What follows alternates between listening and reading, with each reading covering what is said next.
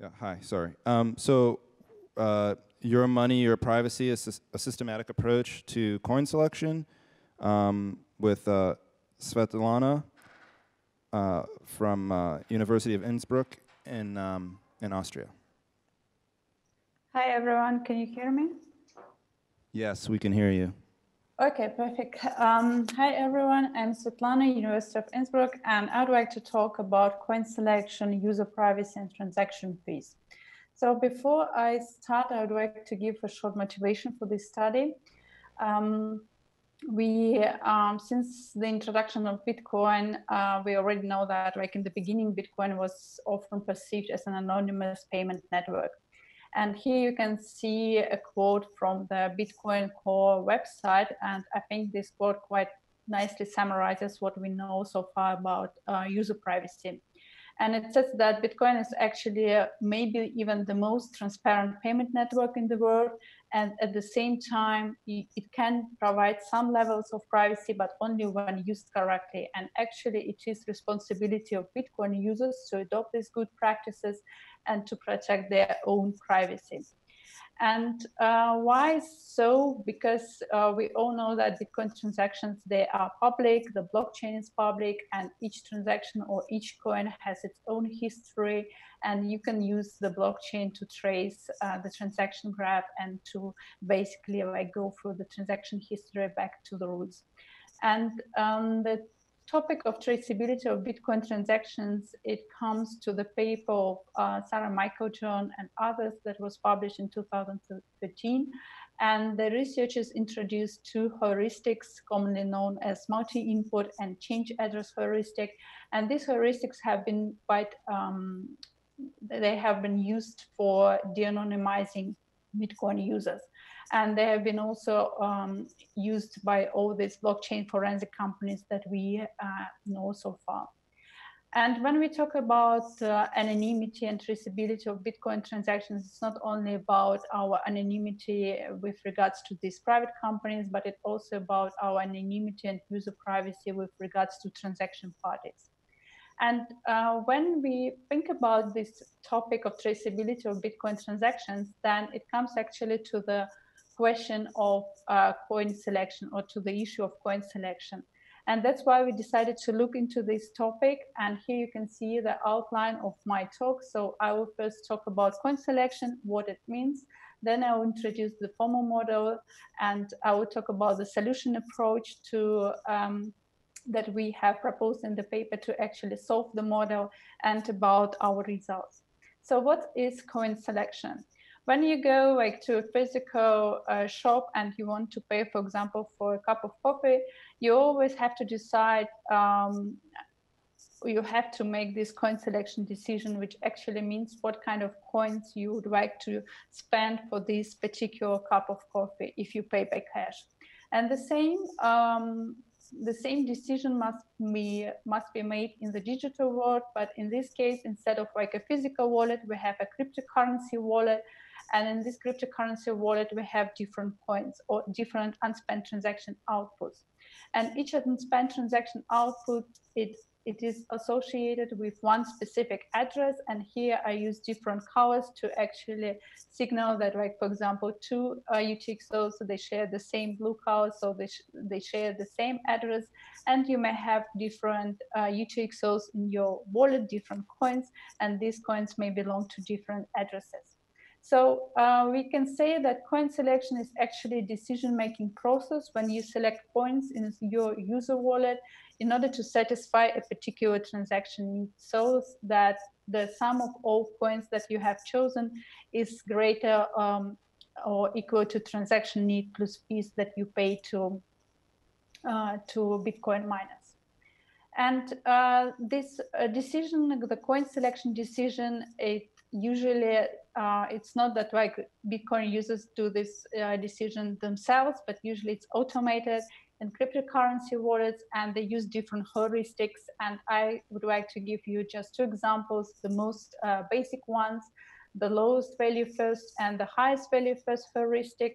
And you already probably can like um, uh, infer from the names of these heuristics how they work. So if we have, for example, a transaction need and we would like to pay five bitcoins to someone, then in the case of the lowest value first heuristic, we'll use these three, like one, two, and four bitcoins. And in the case of highest value first, we'll use just one UTXO, which is worth of six bitcoins. And we can already see uh, from this simple example that in the first case, um, they actually, uh, there is maybe a better solution to pay or to satisfy this transaction need if we use just these two UTXOs that belong to the same address. So they share the same public address. Um, and also in this case, we don't uh, create any additional uh, change output. And in the case of highest value first, uh, we spend six Bitcoins and then we will need to create uh, a change output, which is worth of one Bitcoin. And then if we look like in the future um, uh, perspective, then we may end up with UTXOs, with many UTXOs in our wallet. And all of these UTXOs will have like, um, they will, um, they won't have really uh, high values, but at some point uh, you will need to combine many different UTXOs in one transaction in order to satisfy transaction amount of higher value.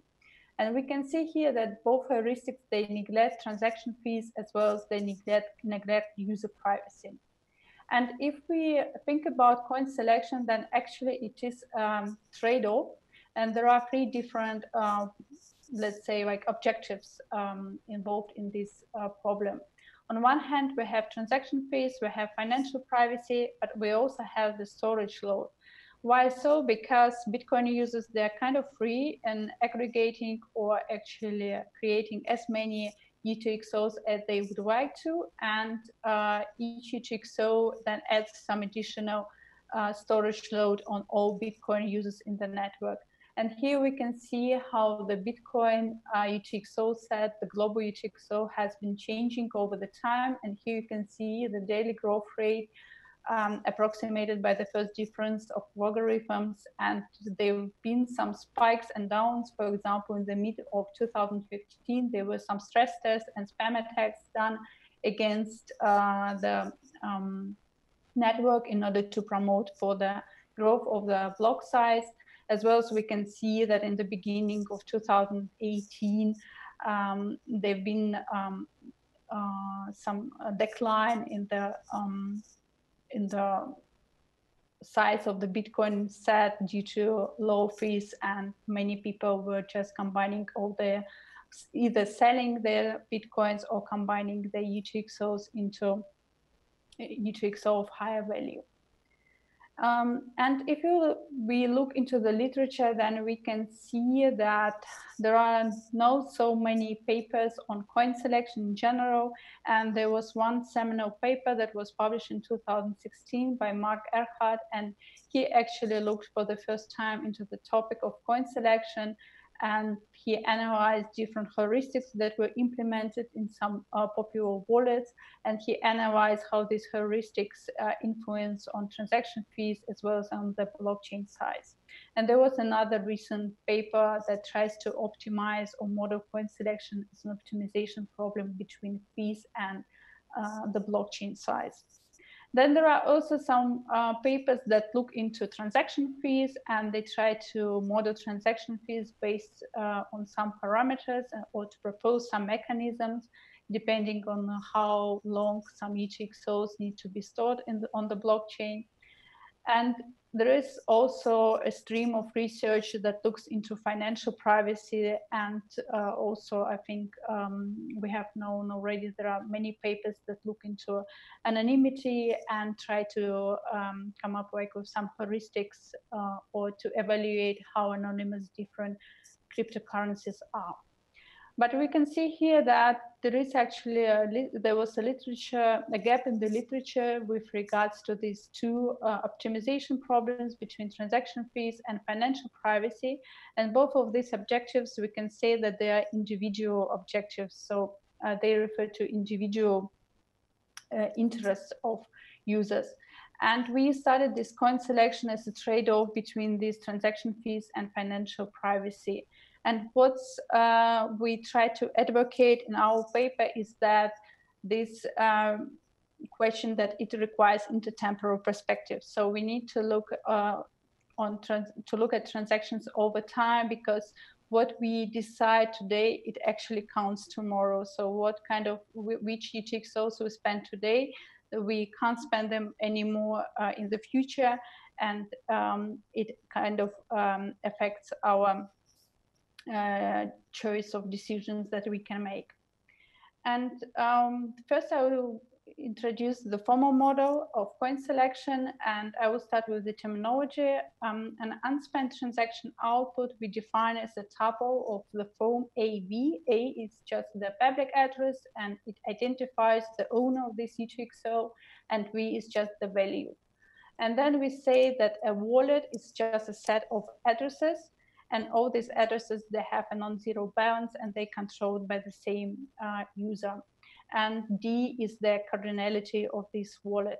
And we say that the wallet V contains specific UTXO if the address A is element of this set V. And we um, differentiate between two types of constraints. Um, the first one is combinatorial constraints. And combinatorial constraints, they say that any UTXO can be spent only once, and it falls from the design of Bitcoin. And we have um, also funding constraints. And funding constraints, it um, refers to the transaction amount and says that the sum of all inputs must be no less than the transaction need that we would like to um, uh, pay to someone. And as we can see, combinatorial constraints, they are independent of the values of neither UTXOs nor transaction needs, whereas in contrast, uh, funding constraints, they are dependent on the values of our UTXOs that we have in the wallet, um, and also depend on the transaction needs that we would like to satisfy. And um, then we define a notion of an elementary choice and elementary choice is just a mapping of all UTXOs that you have in a wallet to a ternary set T1, T2 or nothing. And um, T1, T2 and nothing. So we have, we, um, our model um, consists of two um, two transactions and each UTXO, it can be spent either in the first transaction or in the second transaction, or UTXO may be not spent at all. And then uh, we also say that when you do the first transaction, then you may also create a change output, and this change output then can be spent in the next transaction, so in the second transaction, or uh, we can also, um, there is maybe no need to spend it at all.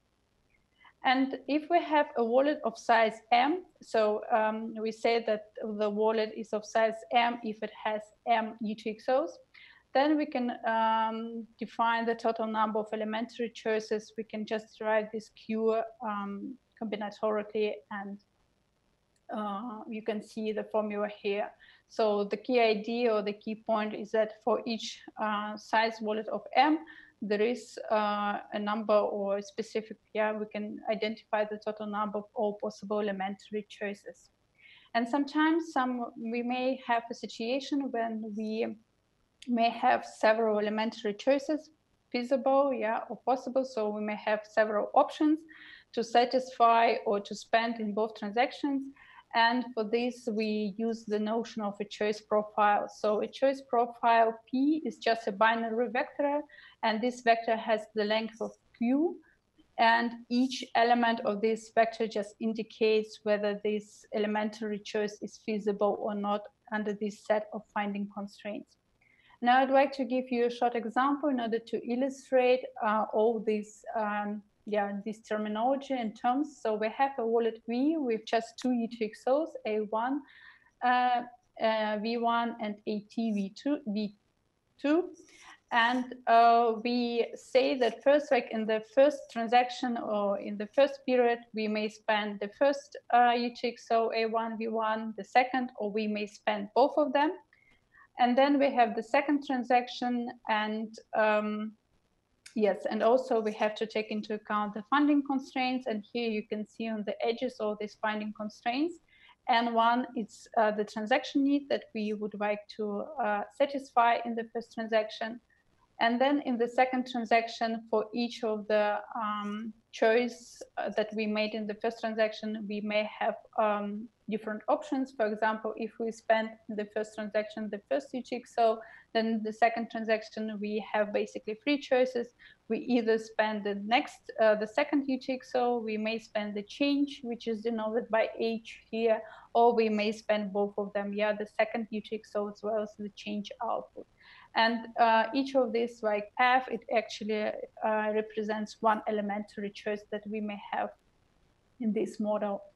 And then we define um, the funding constraints for uh, the second transaction, saying that the uh, second transaction need uh, must be no less than the uh, choice that we made in this transaction.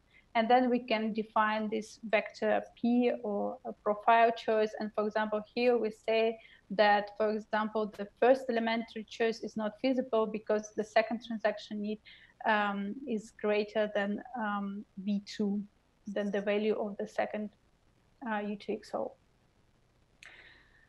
And um, this choice profile, we then said that it's active if the following condition holds. So we just take all the funding constraints and for each uh, zero bit, we take the um, negation of these two funding constraints for the first and the second uh, period. And for the whole choice profile, we, we take the conjunction of all these uh, constraints that we have for this particular choice profile. And um, the model, uh, yes, and then we use uh, satisfiability modulo theory, SMT solver, to check whether this constraint or the system of constraints is actually satisfiable, satisfiable in the symbolic parameter space. And the whole idea behind our approach was that we would like to get a general solution to a problem and not to find just like solution to some numerical instances of this problem. And we can see that this problem is actually NP-complete um, problem, and it's a variant of subset sum problem, which is hard to solve, and uh, it's um, adds some complexity to our problem or to our model as well. So the model itself, it looks like this. So we identify or we um, have S um, I, which actually set a few jigsaws that we select in each um, period. Then we have AY, it's a set of addresses that associated with this selection that we made. And we also introduce parameter lambda to actually um, model the preference of user for privacy over transaction fees. And then we differentiate between uh, two different models or between two types of uh, Bitcoin users, uh, myopic and strategic. And um, on the timeline, the decision looks like this. We have our wallet, then the user, it learns its first transaction need N1, makes a coin selection decision S1, then learns the second transaction need N2, and makes the second uh, coin selection decision. And myopic user or myopic optimization, it means that the user optimizes just for one transaction and it optimizes just for transaction fees. Um, and transaction fees, we take the simplest form, uh, we model transaction fees as just the cardinality of this set uh, as E. So basically how many UTXOs um, the user has selected for this transaction. And we then differentiate between strategic optimization and for strategic optimization, we take the whole timeline into account. So we take both transactions and our optimization function now consists of two parts. So the first part is actually the optimization for transaction fees. So we just take all our UTXOs that we have chosen in the first and in the second transaction. And the second component of the optimization function refers to the um, privacy. And we say that the privacy is violated if both of these transactions are linked to each other and they can be linked um, due to these two heuristics, either um, both of these uh, set of addresses that we have chosen in the first or either in the second uh, transaction, they share the same address, or we choose uh, the change output in the second transaction. And that's why we also link both transactions um, due to this choice. And then we introduced this uh, delta, which is just a penalty uh, that we impose in the optimization function due to this linkability that we introduce uh, with our coin selection decisions. And we have um, proposed the following solution approach to solve this problem. And uh, our um, approach consists of two parts. We have the exhaustive search part and the evaluation. And in the exhaustive search part, we basically solve the combinatorial problem. And in the evaluation, we then actually um, see for each possible solution whether we violate the privacy of users. So the exhaustive search, basically what we do, we have our uh, wallet of size M with M UTXOs. We generate all possible choices and all possible constraints. We then generate choice profiles, and then we check whether this profile is satisfiable uh, in the um, by using the um, capabilities of SMT solver. And uh, then for uh, each satisfiable profile, we basically calculate with the cost function and we calculate this cost function for each possible configuration of the wallet. Um, configuration of a wallet, we define it as like um, the UTXOs that you have in the wallet, they may have different assignments to addresses, and we just take all possible assignments of these UTXOs to addresses, and then we calculate the cost function for each of these um, possible options. And then we uh, check in which cases um, the privacy is violated or is not violated, and in which cases the user pays high transaction fees and so on. And you can see uh, um, here how this um, problem in general scales it's a hard problem and you can see that like if you have only two UTXOs in the wallet then we have 127 choice profiles and if we just add additional UTXO to the wallet then we have already over 2 billion choice profiles possible and by running SMT we managed to reduce these numbers uh, for two UTXOs to 11 active choice profiles and for three to 93 active choice profiles. And um, here you can see all the possible configurations of wallets for the case of free UTXOs. So we have free UTXOs with values V1, V2, and V3 in this um, ascending order. And uh, in the first configuration, all these UTXOs, they uh, belong or they are associated with different addresses, whereas in the last um, configuration, they belong to the same address and will then have three intermediate options where um, two UTXOs share the same address depending on which uh, value they have. And then we um, calculated the cost function for each of these possible configuration and for all choice profiles or active choice profiles that we have identified. And here I would like to show you the results for um, two heuristics that we have evaluated with this approach, the lowest and highest value first. And if we do strategic optimization for transaction fees, then we can see that in 84% uh, uh, the heuristic, the lowest, lowest value first heuristic um, leads to um, suboptimal results. So the user pays higher fees than optimal. And if we can see the strategic optimization for privacy, then here you can also see the statistics in how many cases uh, the lowest value first is worse than optimizing just for privacy, and in how many cases the highest value first heuristics is um, worse um, as well. And you can see here that in general, yeah, and I think it's already also expected outcome that the highest value first is better if we compare both heuristics against each other. So um, in summary, um, this paper, we formally reason on coin selection and we introduce this intertemporal view on privacy. Um, and we would like to advocate the use of SMT solver, how to find this general solution to the problem and to uh, derive some recommendations for better design of wallets, how, for example, to provide users with opportunity to decide themselves whether they would like to optimize for privacy or for transaction fees. But of course, there are uh, some limitations that come from our approach as well as from the assumptions that we have made. First of all, our model rests on the assumption, very strong assumption that we have complete information about transaction needs, which is really hard to actually see, I think, in practice.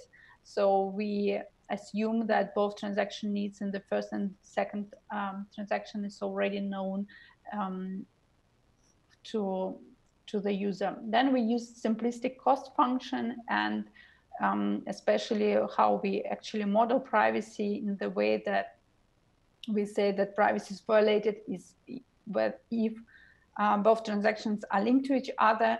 We also use complex algorithm, or I mean, this algorithm is very computationally expensive and it can't be used in practice. And we assume, or we think that there is actually a better search strategy that could optimize the whole like uh, exhaustive search approach that we have chosen for this paper. And in the end, I would like to use also this opportunity to make some advertisement. And right now, together with our colleagues from the University of British Columbia, we are running a survey of users and knowledgeable non-users uh, with regards to security risk and protection of crypto assets. And this survey went online just last week and it takes approximately 20 minutes and you can also have a chance to win amazon gift card. And i would like to um, ask you to fill out this survey if you have some background knowledge about cryptocurrencies. And please also uh, feel free to share this link with your community members and we would be really glad and helpful. We'll be really uh, grateful if you can help us with this survey. So thank you. And uh, if you have questions, I would love to uh, hear them.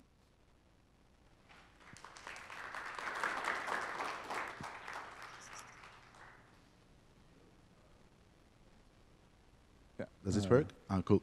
Thank you. Great paper and talk. In the beginning of your talk, uh, you introduced the trade-off space. Like there, there was a triangle between storage load, transaction fees, and financial privacy. And it was interesting to see that there was not any single paper which considered all three of these um, dimensions of the trade-off space. And can you give us um, an insight why you didn't consider storage load in your utility function? And um, yeah, uh, why why you didn't consider this? Is it even more computationally intractable or yeah? Yes, yes, it's a really good question. And I think in general, coin selection is a really, really hard problem. And that's why um, there is no literature or no paper so far that looks into all three different objectives or trade-offs that you have in coin selection. And um, right now we I mean, coin selection is actually not done uh, by users, but usually, yeah, it's automated in cryptocurrency wallets. And most of these wallets, they just focus on one particular uh, corner of this triangle, and it's the storage load or the blockchain size. So cryptocurrency wallets or the implementations that we have at the moment, they try to optimize for the storage load or for the um, size of the UTXO set. And um, yeah, I mean, it's um, NP complete problem and it's um, it's not that like we can have really um, ready solution how to tackle this problem. And I think that the reason why we don't have any paper or why in general we have so few papers that try to tackle this problem. Thank you. Hi, uh, great talk. I'm wondering if, um, if you go with sort of highest value first, is there a tendency for dust outputs to be produced? Because it seems like you're sort of breaking up the outputs so they get smaller and smaller. And then at some point, you know, the fee would be more than the, the output is worth to move it. And then you sort of lose the whole output, in a sense. Yes, um, I mean, uh, this uh, lowest value first as well as the highest value first, they are not optimal and they will produce uh, some dust outputs uh, if you like take a longer time horizon into account. And I think it's like, um, yeah, both of these heuristics, they're the most uh, basic ones. And we have seen that also in case of, um, yeah, of our optimization or our model the highest value first performs better than the lowest value first. Hi, thank you so much for your talk. It was really informative. Uh, I was wondering, kind of piggybacking off of that last one, um, if it does eventually tend to go towards more and more transactions um, in order to decrease the link between the previous transactions, is there a way to continue that um, forward, or is there eventually going to be half? There's has to be some sort of solution that will relink all of those transactions at some point, right? Do you understand what I'm? Does that make sense? Um, I think I didn't get quite the question. Um, I'm just wondering if there's been research into, or if my assumption is incorrect, um, as far as when you keep creating more and more transactions in order to de-link previous ones in order to improve uh, privacy, um, at some point you'll probably have to relink them just because the outputs are going to be smaller and smaller. Um, has there been research into how to continue preserving privacy in that scenario? Okay. Uh, yeah, I think like um, in general, um, yeah, as I said on the very like first slide, um, it's users' responsibility yet to protect their privacy. And of course, you can make some, uh, you can undertake some approaches how to make this transaction linkability to avoid this linkability of transactions.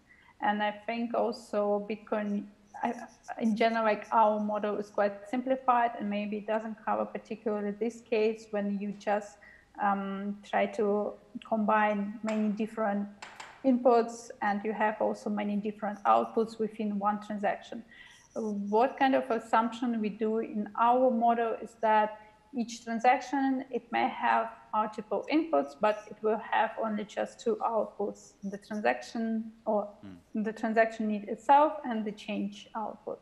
But of course, you may also, as a Bitcoin user, you may try to create such transactions that you have multiple inputs and you have multiple outputs in order to hide these links, yeah, the links between inputs and outputs and make it more difficult to external observer to actually trace the transaction graph. And um, this is also what I think, yeah, like these approaches like CoinJoin transactions, so on, they try to um, to implement or to add some additional inputs uh, or add some additional outputs to transactions so that it's harder to find these links between um, inputs and outputs within one transaction. But our model is quite simplistic in this way, and it doesn't actually focus on these kind of transactions. And um, yeah, I mean, there is um, there are some approaches, so like uh, mixing uh, and CoinJoin transactions that try to um, provide or to provide more privacy to users. Great, thank you. Thanks, everyone. Um, I think that's all the questions we have here. Um, Okay, Thank you. thank you.